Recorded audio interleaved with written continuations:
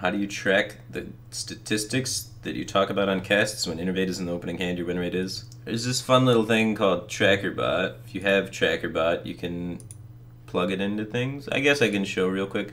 I really like the program, so I don't mind like shamelessly promoting it, I guess. So what you do is you go to TrackerBot.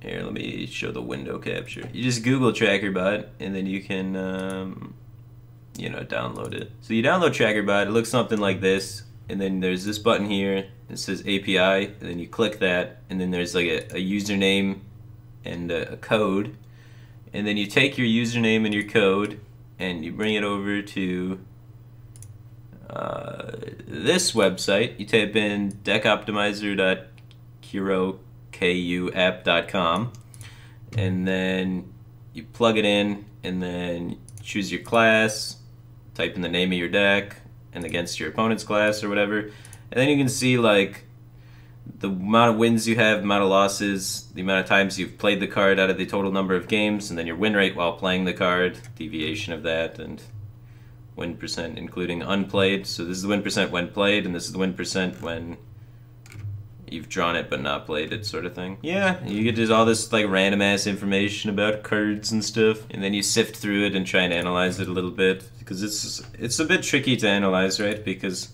some cards work a lot better than others when you're ahead and such, so then your win percentage while playing that's going to go up a lot, even though your win percentage while drawing it necessarily doesn't go up a lot, because it's one of those win more cards and stuff like that. So you have to take those factors into account and try and process the information. So we do all of this stuff, and then at the end of the day, you look at your total win rates and matchups, and you, get those 55% edges.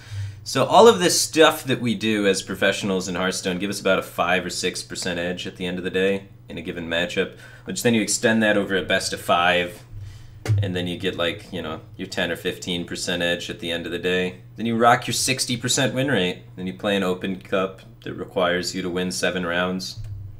Then you're not favored to win the tournament still, even if all of your opponents are bad.